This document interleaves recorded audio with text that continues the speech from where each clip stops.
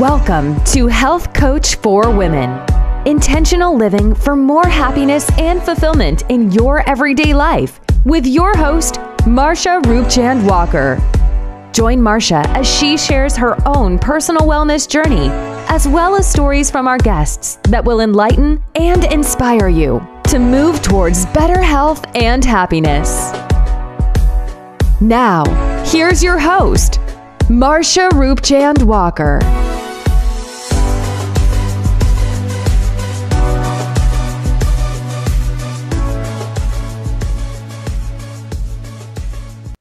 Hello, and welcome to another episode of Health Coach for Women, a podcast where we explore alternative and holistic solutions for better health and wellness. And I am your host, Marsha. Now, before we get started, please go ahead and hit that like button, share, and subscribe. Of course, today I have a simple quote for you, and that is to simply don't live to eat, but eat to live. I'm not sure who it's by but it's pretty simple. So that's what I'll be talking to you today about eating well at 40 and beyond. Fast and nutritious meals that you can incorporate into your life. So, of course, I am a woman over 40. I'm in my 50s and no shame in my game. no shame to say that, right? Um, but I want to talk about that, right? As we get older, things just aren't the same as they were in their 20s, right? We know our metabolize, metabolism, metabolism slows down and things aren't like how they were in their 20s, right? For some, for many people, right? So that's what I want to talk about today. So, what are some of the things that we can do, and why is it important? It's important for those some of those reasons reasons that I mentioned above, right? Uh, that I mentioned about uh, metabolism and our hormonal changes that we experience. Right, we experience hormonal changes, and they tend to slow down and produce less. Right, and so that is why we need to uh, be able to incorporate these healthy meals, quick and healthy meals, even though we may be still busy, right? In our busy lives, maybe still working, still doing things that we need to do to keep because life keeps moving, right? So, our bone health, we need to protect our bone health, right? Uh, at, for women over 50, there's an increase in osteoporosis, right? For women over 50. Uh, especially again, especially if we we lack in vitamin D, and and you know I'm always going to talk about that because that's something I experienced firsthand. Right, was my uh, lack of vitamin D that I experienced that impacted my mood, my joints, um, my behavior, cramps, right, uh, joints, uh, leg cramps, um, things of that nature. So I'll, uh, you'll hear me talk about vitamin D a lot. So it's important that we get that. But what about weight management? Our weight, right? We tend to, it's harder to lose weight as we age, as we get older. It may be harder to lose weight. So these are some of the things that's why it's important. Again, we also experience digestive problems, right? Uh, we, some things we can't eat the things that we used to eat, right? Um, you know, some of the things that I used to like, uh, like plums, I don't eat, I stopped eating plums long time ago. For some reason, it just gives me a nauseous feeling. I don't know why, but I no longer eat plums and I stopped eating that long, a long time ago. So, and, and I have a friend who used to could eat bananas. She can't eat bananas anymore. Her throat clogs up, tightens up. She can't eat them. So things change as we get older, right? Cognitive function is another thing why we need to incorporate having uh, nutritious meals uh, even though we have a busy schedule, right? We can't neglect that. That's important. So, of course, a diet rich in omega 3s uh, is important, along with those anti antioxidants that we need and uh, to increase our vitamin uh, energy levels uh, and such as b12 also helps with cognition you've heard me say that before so we need to find some ways during this busy t- time that we have where we can still incorporate uh, time to eat healthy meals. Skin health is also important. That's another factor. Uh, having those nutrients that's containing vitamin A, A, vitamin C, vitamin E that we can get from our fruits and vegetables, right? Um, but we want to also make sure that we are have a well balanced diet to help with our immune system, right? That's important. Our immune system. What about chronic diseases, right? And so, if we eat a balanced, nutrient rich diet, we can reduce uh, the chances, lower our risk in developing chronic diseases, right? Such as type 2 diabetes and cancers and hypertension and so on. And protecting our gut microbiome, that's also important, right? Protecting our gut microbiome, that's important. You've heard me talk about prebiotics and probiotics. These things are important. And what's some of the things that helps with the gut microbiome, right? Some of the things that I mentioned, sauerkraut, right? Pickles, you know, or fermented foods, right? And so this is what I, this is what I wanted to share with you about why we should incorporate these uh, quick meals, quick healthy meals um, for people, for women like me and like you over 40. So what is another thing uh, that we need to do? We can incorporate time saving uh, kitchen hacks, right? We can incorporate time saving kitchen hacks. And some of those things are things such as meal prepping, right? So, what we need to do is making time for meal prepping. So, according to your own schedule, everyone don't work, everyone does not work a simple nine to five. Some people work second shift, some people work night shift. So, according to your uh, work schedule, you would incorporate um, making time to do meal prep right? And so whether it's doing your meal prepping on a weekend, such as chopping up vegetables or or or you're cooking your grains, um, you need to be able to make sure that you allot time for that because it would help you uh, overall in saving in time management with your time management skills. So you can use things like a slow cooker, right? A slow cooker is very helpful because the thing about that, it, it, it pretty much does the work itself. So you you set it and forget it, so to speak, right? So using uh, a slow cooker is helpful. Now, when it comes to, I want to talk about fruits and vegetables. Now, when it talks about fruits, when I'm talking about fruits and veg- vegetables, don't shy away from frozen fruits and vegetables. And the reason why I say don't shy away from fruits and vegetables, because sometimes you may, especially if you're someone who is pressed for a lot of time or you have a busy work schedule, you you you just have this busy life, you may not have time to uh, get uh, fresh fruits and vegetables, right? And cook them within a certain amount of time because you know when you buy the fresh produce, you have to use it within a certain amount of time. So if you know for sure that you're not going to cook those fresh, uh, use those fresh fruits and vegetables within a, a, matter of days, that it'll it'll it's going to go bad, right? Uh, if it's if it's fresh and organic, it, it's going to go bad.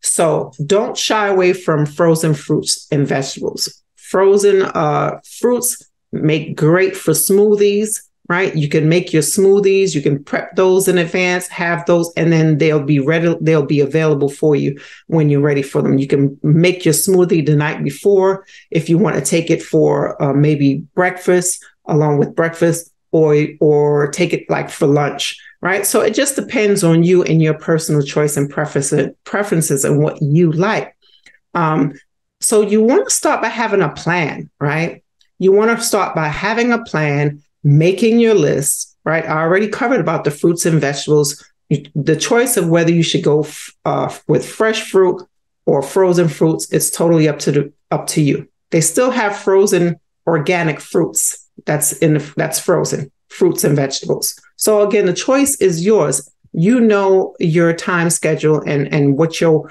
work life is, your work life and balance schedule is all about. So adjust it and allot time accordingly. All right. And you can pre make your sauces and your salad dressings. You can pre make those uh, and have them ready, readily available when, when, when needed. Now, some great breakfast ideas. If you're if you're busy and if you're one that eat breakfast, you know I used to eat breakfast, and, and I breakfast for me was the most important part of the day. But for some reason now, lately, I don't need to eat breakfast anymore. So I basically do the 12 7, which I don't eat until about 12, uh, about 12 noon, sometimes maybe around 11:30 if I'm hungry. Um, so I eat around 12 and then I have dinner no later than 7. So I do the 12 7 type of uh, eating habit for me right? That's what works for me. So you find what works for you, right? Um, so if you're having, if you're going to have breakfast, you want to make sure um, that you're having something that's going to not be overly heavy, but something that will sustain you. So something like oats, if you like oats and putting some fresh blueberries in your in your oatmeal is great. You don't want to use the oatmeal that have the added sugars. You want to avo- avoid those instant uh, pre-packed ones um, that have those added sugars and preservatives. You don't want to use those.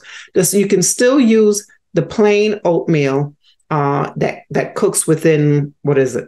Cooks within a minute or two or whatever it is. You can use that, and you can add your your toppings such as your your nuts or or your granola or or your uh, f- uh, blueberries, strawberries, whatever you want to add to it, right? You add that. I already talked about having your smoothie, right? Making your smoothie. You may not have time in the morning to do those things, but what you can do is when you set your meal prep time and getting your things ready, you may want to blend a couple of smoothies and then have them readily available that you know you're going to use within the next two, two or two or three days or so right? And having those ready because in the morning you don't have time for that. In the morning it's you're getting up, you're getting ready, you're doing whatever your routine is, you're getting ready for work. So you want to, if you're on, if you're that on the go person and you're, you're pressed for time, you want to have your smoothies available, uh, already ready in your mug, ready to go, grab and go, right? But you can still make time if if you like to eat and you want to eat light in the morning, avocado toast avocado toast. It has the healthy fat, and you still have your, your slice of bread. You have some carbs. You can have one slice, you know, one slice with your avocado and maybe even a boiled egg. That will sustain you pretty much for a while, depending on, you know, that can sustain you. I know for me, I can eat that and I don't have to eat anything again until probably dinner or somewhere in between. I may have a light snack. So again, it's knowing your body, knowing how your what what feels right for you, and you're eating when you're hungry, right? Eating when you're hungry, uh, but not over indulging. Okay, so nut butter, right? Like nut butter, you can use uh, almond butter uh, or nut butter and, and have a sandwich that way. You can make a nice peanut butter uh, sandwich if you can, uh, and and and take that and have that on the go right? And so chia pudding, chia pudding is another one. You can set your chia and and and have your chia set overnight before, so it gives it time for it to uh, expand. Right? You have your chia pudding. So just know what you like, right? Know what you like and know what you want, and have these things and prep it accordingly. If you, you know, according again, according to your own work schedule, you'll meal prep, take the time out that certain day and do a couple of meals, uh, and have them prepped and ready, right? And so some people will cook a meal, uh, do two dinners, right? Or two meals. I'll just say two meals because it can be whenever. Do two meals, meals that'll last a few days, two to four days, right? And I know some people like different meals every day. Again, it's all up to you. There's no right way, there's no wrong way. It's all on what you like and what you prefer. All right. And so the next thing I want to talk about is mindful eating and portion control. I did touch on that lightly before, right? And so learn how to do some mindful uh, practices, right? And, and that's by eating when you're hungry, right? Never overindulge. When you overindulge, uh, you overeat, then you feel less energetic, you're not in the mood to do anything and so you you definitely want to you don't want to be sluggish uh, when you're headed to work. You don't want to feel like that. Having you want in the, especially in the morning time if you're going to work, or even if you if even if you're someone at work night shift, you don't want to eat heavy right before you go into work. You don't at that point you don't you have no energy. You don't feel like it until that time when that food is wearing off on you. You know you don't you don't want to do that. So you eat until satisfied, right? Not until you're f- overeating you where you're full and you and you can't even move. so you need to do that right? Manage your portion sizes. Now, okay, so batch cooking. Batch cooking is what I mentioned before about having batch meals, different, you can have, cook. Let's say today I want to prepare maybe two dinners. And so I will go ahead and have at that time I'm already having my things, my meal plan, my meal uh, planning already set of what I'm going to do, whatever my vegetables or whatever it is I'm going to have, it's already ready. And so if it, and if you're doing your meats, you want to season your meat, you want to try to get them seasoned maybe the day before. And that way the meat, the, the, the seasoning and the flavor is in the meat, right? So you want to do that the day before. And so the next day you will go ahead and prepare your meal right? So it, it just depends on what it is, what you're eating, and knowing and allotting the time for that. All right. So that's important. Now, another thing I want to talk to you about is also mention remember going to your remember going to your local farmers market depending on the season. Now if you're somewhere in, uh, like me to have the four seasons you have to know when to get when when certain fruits and vegetables when they're in season and things like that and when and when to pick it out and and when to you know uh the best time to uh purchase those things um because some sometimes as there's less of those things that's in certain fruits or vegetables in demand due to the season of course it's going to be higher right it'll be higher so when there's more when there's less of a product more of a de- demand for it it increases the prices. Okay. All right. So now let me move on here. Let me, I want to discuss some meals, some meals that you can have that's pretty quick that you can make. According to GlobeNewsWire.com, an estimated 128,000 health coaches and health educators advise and motivate clients to change bad lifestyle habits and to manage chronic conditions such as diabetes. Consumers, employers, and insurers are each now more seriously focused on improving health and being proactive. Insurance companies, doctors, and patients themselves see the critical need and demand for health coaches, as well as other integrative natural health practitioners. There is no doubt with the use of health coaches being a crucial part of the healthcare team brings added value to the client, patient, and the healthcare system overall. At Health Coach for Women, our mission to get clients to optimal health at the cellular level. We help clients manage their chronic pain, fatigue, insomnia, depression, anxiety, brain fog, diabetes, and gut health with three simple protocols. Once you become a client at HC4W, we take a simple test and assessment to determine a plan of action towards wellness. Schedule a call by going to healthcoachforwomen.com. You can you can uh, throw a salad together in no time, right? Because that's not that doesn't even involve cooking, right? Unless you're you're adding meats to it, right? Unless you're adding some type of meat to it. Um, but if you're having a plain old salad, that takes no time at all, right? And so again, based on your preferences, I always recommend using uh, the romaine lettuce, not iceberg lettuce, of course, because it has no nutritional value, right? So having your lettuce your plum tomatoes or grape tomatoes, those are better, right? Again, but your preference, right? Because you're free to choose, right? Fresh organic tomatoes, if you can, you want to find uh, organic produce as possible, if you can, if you're able to. All right. So, and you can um, make your salads however you choose to prepare it and, and make your, your salad.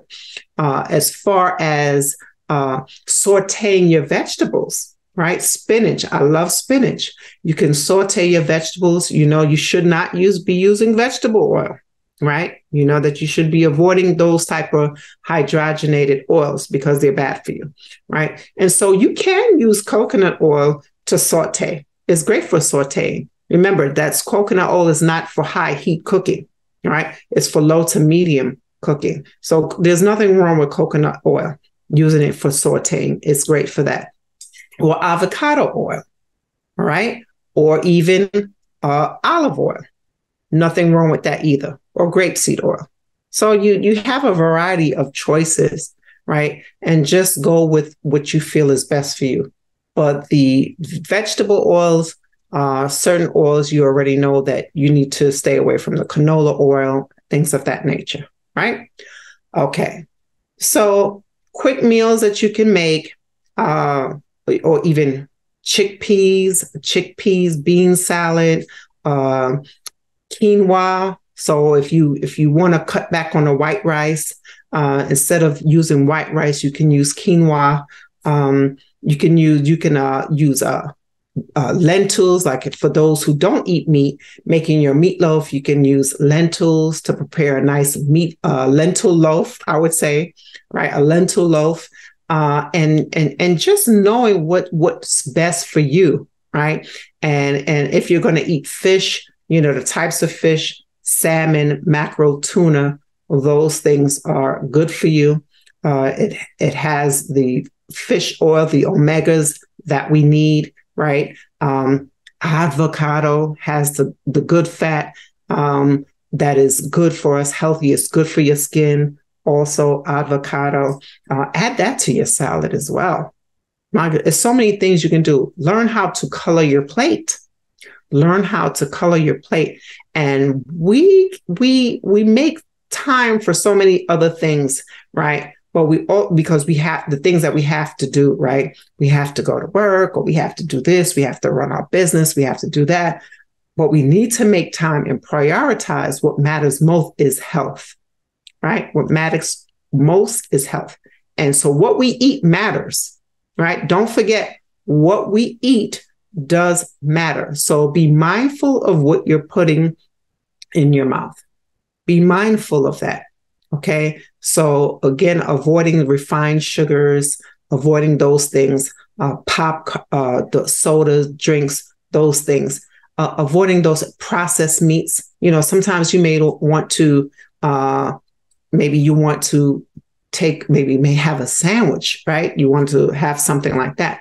Um, but you really want to avoid those uh, processed meats because some of them are loaded with nitrates, uh, which is uh, unhealthy, which is not good for you, and contains a lot of sodium. So the frozen foods, you want to pay attention to the sodium content. Pay attention to the preservatives if you're doing something with uh, frozen foods. I say the best way is to just make your own food, right? Make your own food. And we can, it's, it's not that we don't have the time for it. We just need to prioritize and get a schedule put together of, of how, what schedule and time works for us that we can do this, right? Where you can make some quick, simple, easy, healthy meals, right? Even um, the, the, the pasta salads, those are great. You know, the only thing you're you're boiling is the the pasta itself, right? You want to go with gluten-free pasta right? If, if possible, find the gluten free pasta if you're concerned about weight or have some type of uh, uh, allergy uh, uh, towards gluten. So um, that is basically all that I wanted to cover. I also forgot to mention about hydration. I wanted to mention that. I knew it was something else. Hydration, right? We need to stay hydrated. And the best way we can do that is having our water, drinking several cups of water a day, um, making sure if if we can avoid coffee.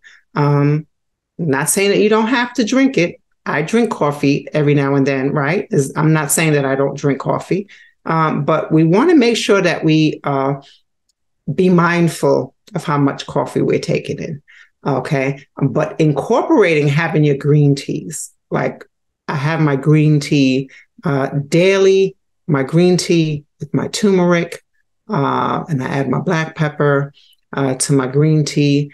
And sometimes I'll even uh, mix it with a, a, ginger turmeric tea bag and a green tea bag, and add, and still add my uh, turmeric, my black pepper, and a little bit of a little bit of coconut oil in there, and I drink it, and it, it helps. It helps with inflammation as well as brain health, right?